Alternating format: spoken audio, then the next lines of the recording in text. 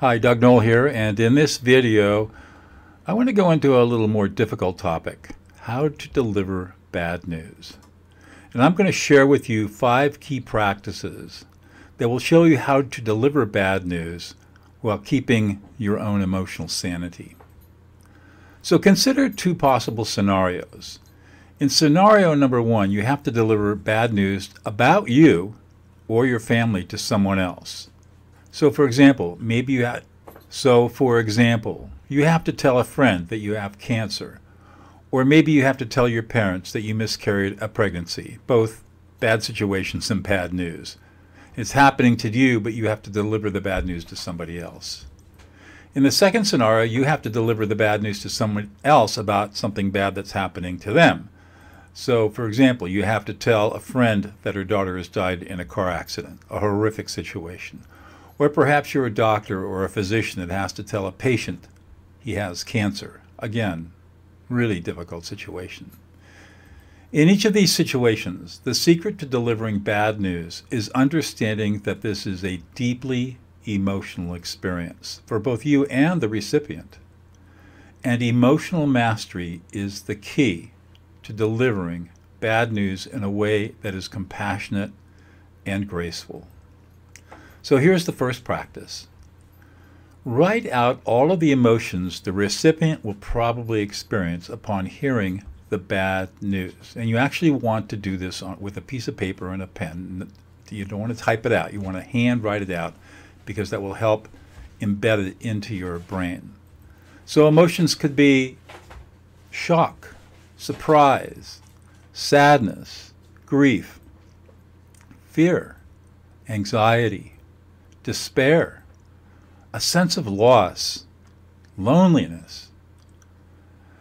So write out all these emotions, and there may be other emotions that you can think of that might come up when you have to deliver bad news, and write them all out in as much detail as you possibly can. And if, and, and, and if you're at a loss for emotional vocabulary, go out to Google and just type in emotional vocabulary, and you'll get a bunch of practice aids that will give you a whole bunch of words that you can utilize in creating your list. All right, practice number two. Give the bad news in two steps. This is pretty much universal advice, and I agree with it.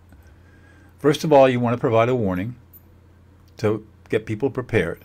So you might some, say something like, I've got some bad news to tell you, and just prepare them for the shock.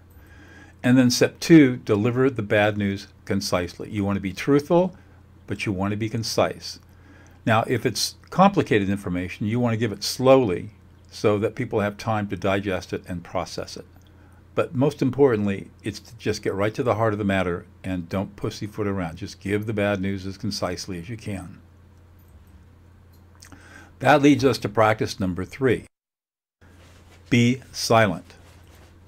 Be self-aware of your own personal anxiety or discomfort because you will feel anxiety and discomfort at delivering bad news. Be aware of it. Feel the anxiety, but do not react to it.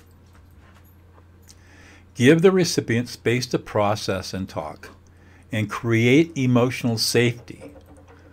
The most important thing you can do at this point in time is listen to and reflect back the emotions of the recipient.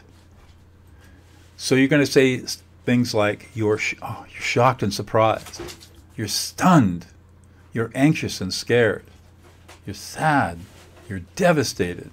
You feel overwhelmed. You feel lost and alone. Most importantly, do not try to fix, problem solve, dismiss, or rationalize the other person's feelings. You'll only make things worse if you do this. And more importantly, do not offer sympathy. Sympathy is a really poor way to deliver bad news. Third, don't use I statements. So you want to avoid saying things like this I'm sorry to tell you this, but, or I can see that you are really upset, or I'm so sorry to have to tell you this. I don't want you to feel bad. Do not make the delivery of bad news about you. It's all about reframing the bad news and the emotions of the recipient from the recipient's frame of reference. Practice number four manage your own emotions. Now, to manage your own emotions is beyond the, the scope of this video, but I do have a course that I've created, the Basic Emotional Competency course at https dougnoll.co emotional hyphen competency and you'll learn how to master your emotions in that course so i urge you to consider taking it if you want to gain more mastery about the things that i talk about. Using the list you created in practice number one label each of your emotions when delivering bad news. So you would say to yourself oh look i'm experiencing sadness. I feel inadequate. I feel powerless. I'm resentful. I'm frustrated. I'm anxious. Observe how your emotions calm down as you label them inside yourself. And brain science shows that this is exactly what happens. Be aware of your need to soothe your own anxiety. Do not counsel, advise, or problem solve until the emotions have calmed down. Do not emotionally invalidate yourself or the other person. And you want to avoid trite phrases like, it's God's way, or every cloud has a silver lining, or it's bad karma. So, in summary, to deliver bad news, think ahead about the recipient's emotions. Warn, then deliver. Create emotional safety by reflecting back the recipient's strong emotions. Manage your own emotions and don't engage in self soothing behaviors to reduce your own anxiety. That will only make things worse.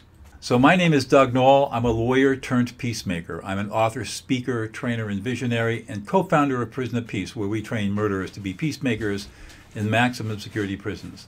I've dedicated my life to helping people just like you live fulfilled and happy lives. I offer individualized training and coaching to a select group of clients. So, if you'd like to set up a call to explore possibilities, email me at doug at dougnoll.com. And sign up for the Basic Emotional Competency course at https dougnoll.co emotional competency. If you like this video, give me a like and subscribe to the channel. And we'll see you next time.